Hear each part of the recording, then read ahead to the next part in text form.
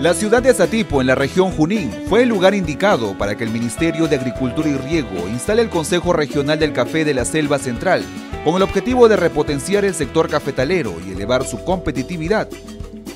El acto contó con la participación de las principales organizaciones de productores de café de esa zona del país y estuvo liderado por el viceministro de Desarrollo e Infraestructura Agraria y Riego, Juan Manuel Benítez.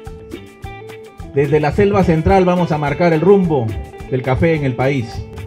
de esta instalación del Consejo Regional, Regional del Café de la Selva Central, que tiene gran expectativa a nivel también del gobierno central, de que efectivamente por fin podamos solucionar los problemas que tenemos actualmente.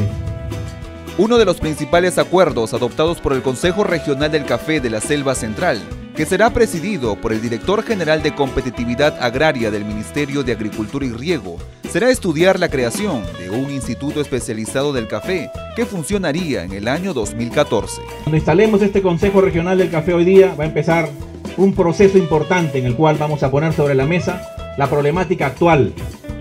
Vamos a dar una revisión punto por punto el cumplimiento de la resolución ministerial que nos llevó a firmar allá en el Senasa en Lima